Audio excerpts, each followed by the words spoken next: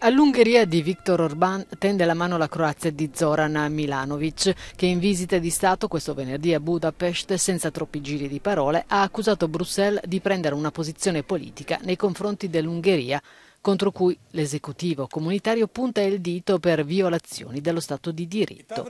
Il rapporto che si è venuto a instaurare tra Unione Europea e Ungheria è piuttosto irritante. Oggi tocca l'Ungheria, domani è un altro paese più grande cui bisogna dare una lezione. È stato il caso della Polonia fino a ieri. Oggi invece, vista la posizione polacca nei confronti dell'Ucraina, la Polonia è magnifica, ma domani saranno nuovamente additati. Incontrando il suo omologo, la signora Katalin Novak, Milanovic ha detto ancora di non capire l'atteggiamento di Bruxelles, che incrina piuttosto che rafforzare l'unità dei 27. Milanovic è stato eletto nel 2019 nello schieramento liberale di sinistra, da allora secondo molti ha assunto posizioni vicine ai sovranisti.